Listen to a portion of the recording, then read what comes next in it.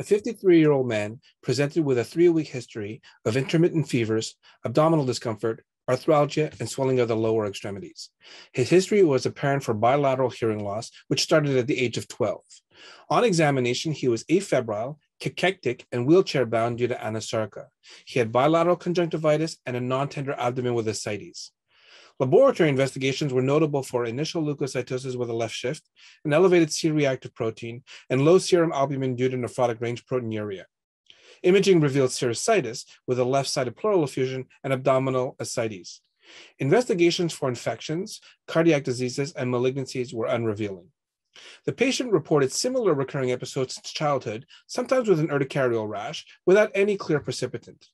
Similar episodes occurred in his mother, his maternal aunt, and maternal grandmother. Given the recurrent episodes of fever, abdominal pain, serositis, and arthralgia with hearing loss and proteinuria, and family history suggesting the vertical transmission of an autosomal dominant trait, we suspected he had Muckle-Wells syndrome and confirmed the diagnosis by genetic testing. Muckle-Wells syndrome is an autosomal dominant autoinflammatory disease due to mutations in the NLRP3 gene. It presents with recurring but random episodes of fever, headache, conjunctivitis, arthralgia or arthritis, abdominal pain, and urticarial rash, with leukocytosis and elevated acute phase reactions during flares. The major complications of this syndrome include sensorineural hearing loss due to chronic inflammation of the inner ear and secondary amyloidosis, which can lead to nephropathy.